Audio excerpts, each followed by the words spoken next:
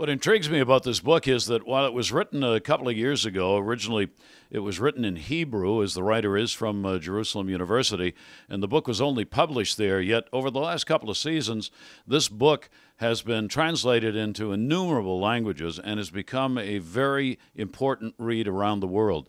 It is, it is a history of mankind going back to the Stone Age up to now, but it is completely different from anything that I've ever seen, and I think that's why it's become so important. It tries to take the big chunks of generations of millennials and uh, and define what was going on during periods of time and how that affected both what came after and how it was affected by what came before.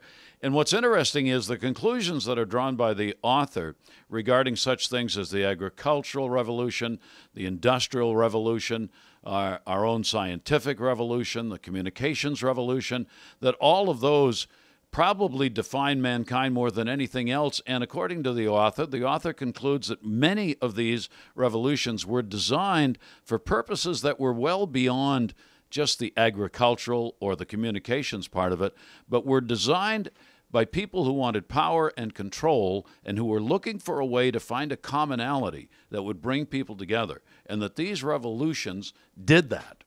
That's interesting. It's also kind of scary. And the larger question that is framed throughout the book are we happier?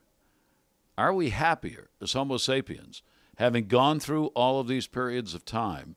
Have we actually made our lives better? Or have we simply added more pressures, more pressures for the day to day life, and more pressures for what needs to be done in the future?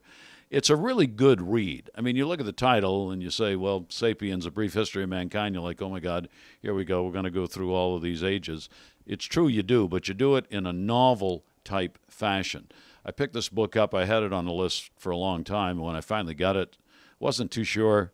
Started reading, couldn't put the thing down. I think you really, uh, I think you'll really like this, especially if you like history and a broad spectrum with some unusual conclusions about mankind.